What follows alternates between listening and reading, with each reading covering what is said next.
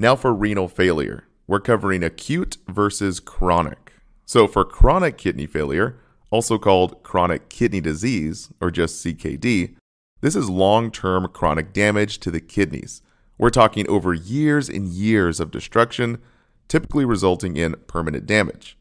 And acute kidney failure, also called acute kidney injury, is that sudden short term loss of kidney function, but if not stopped or reversed, it can lead to chronic renal failure. So, a Kaplan question asks about acute kidney injury. What is the correct understanding? And the answer is sudden loss of kidney function due to loss of renal system circulation or glomerular or tubular damage.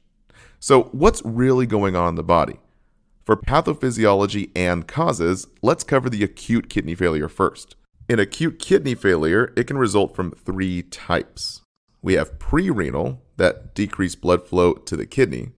So the memory trick we use is think of decreasing of prefusion with pre-renal. And then next is intrarenal, that damage inside the renal. Think in the renal for intrarenal. And if the cause is after the renal, that's post-renal. So just think post for past renal. Now let's dig into the specifics here. So for pre-renal, just think of that decreased perfusion for pre-renal. Oxygen-rich blood flow can't get to the kidneys. This decreased blood flow means decreased oxygen. So remember, oxygen is the money of the body. No money, no honey. No oxygen, and the body goes broke and dies. Kind of like the kidney is suffocating to death. You like that, did you? Well, click here and get access to over a thousand fun visual videos, 300 study guide cheat sheets, and a massive quiz bank loaded with detailed rationales to test your knowledge, neatly organized in our new app. Click here to get started for free. Now, this is typically caused by obstruction or vessel occlusion, where we have a blockage of blood flow which blocks oxygen. Now, this is typically from an emboli or blood clot or even a tumor that blocks perfusion into the kidneys. Another cause is from low blood pressure, that low perfusion with pre-renal. Like patients with shock, hypovolemia from that major blood loss or volume loss resulting in dehydration, which results in decreased MAP, that mean arterial pressure. Fancy words for low blood pressure, meaning low perfusion, less than 65 MAP for mean arterial pressure. Lastly, low cardiac output, we get low perfusion. So just think low cardiac output means low oxygen put out of the heart, resulting in low perfusion to the kidneys. Typically from when the heart can't pump correctly, which decreases blood being pumped out of the heart. So we see this with ECG dysrhythmias with those funky beats, and even clients in heart failure, which is a little bit tricky, so listen close.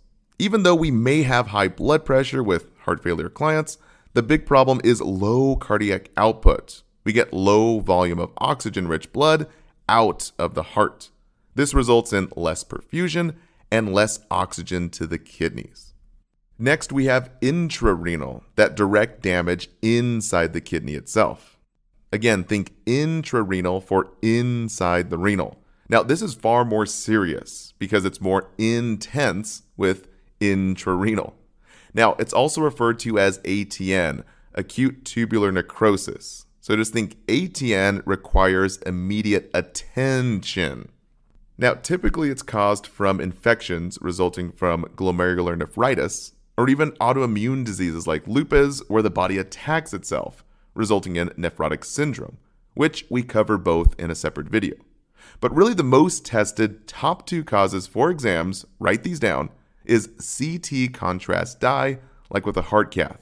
So just remember, contrast kills the kidneys. And even antibiotics ending in mycin, like vancomycin and gentamicin. So just think it's a sin to give a mycin, since it's so damaging to the kidneys. Lastly, untreated infections, and even long term use of NSAIDs like naproxen, ibuprofen, and even ketorolac can cause damage to the kidneys. It's kind of like overloading two delicate washing machines with thick cement. We literally clog the kidneys here with these medications, And in results, the creatinine lab value shoots up sky high. So the key number to know is creatinine over 1.3 is bad kidney. And the memory trick we use, just think of the three C's. Creatinine is the most critical lab value since it shows clogging of the kidneys. And last but not least, we have post-renal. Just think past the renals. There's a renal blockage after the kidneys, which basically blocks the outflow of urine, so urine can't get out of the kidney itself causing a lot of pressure, pain, and strain on the renals. Like with clients with renal calculi, aka those kidney stones, or even a tumor, or even BPH, that benign prostatic hyperplasia. We see a big swollen prostate in our older men populations. So just think the memory trick BPH as a big prostate that holds back urine, and now we have an outflow problem. As far as assessment findings, these are pretty simple. So remember from our anatomy video, what are the three waste products that the kidneys filter? Well, remember we use our acronym HOOK, H-U-C, since the kidneys sort of kind of look like a pirate hook. H is for hydrogen ions, which are very acidic, U is for urea, and C is for creatinine. For our full video and new quiz bank, click right up here to access your free trial. And please consider subscribing to our YouTube channel.